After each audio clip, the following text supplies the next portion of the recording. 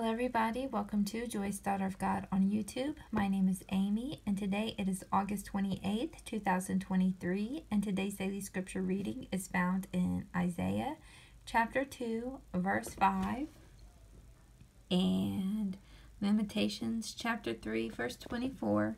I didn't write it down but I know I'm going to be reading more than just uh, Lamentations chapter 3 verse 24 so I'll let you guys know once I get there.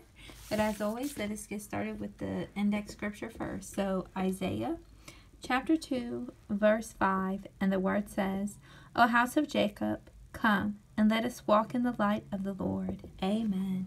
And on the index card I just reiterated verse 5, O house of Jacob, come and let us walk in the light of the Lord. And then I have written, As long as we are walking in the light of the Lord, we will not stumble in the dark, and we shall see the truth.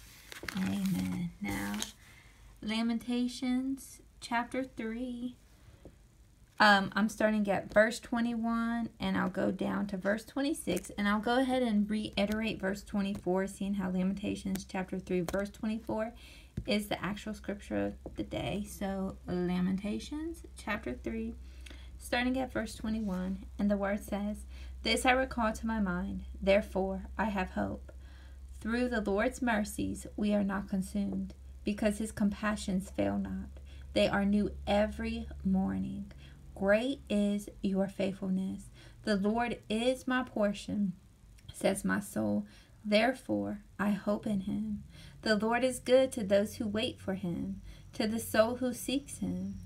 It is good that one should hope and wait quietly for the salvation of the Lord. And then verse 24 again The Lord is my portion, says my soul. Therefore, I hope in him. Amen. Thank you, Abba, that your mercies are new each and every morning. Thank you for your faithfulness and that we have hope in you. Then through your mercies, O Lord, we are not consumed. Thank you so much. All right, you all. I hope you all have a wonderful and blessed morning, noon, or night whenever you come across this video. God bless each and every one of you all. Take care. Bye.